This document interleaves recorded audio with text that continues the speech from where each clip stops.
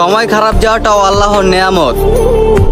এতে বোঝা যায় কে আপন আর কে পথ।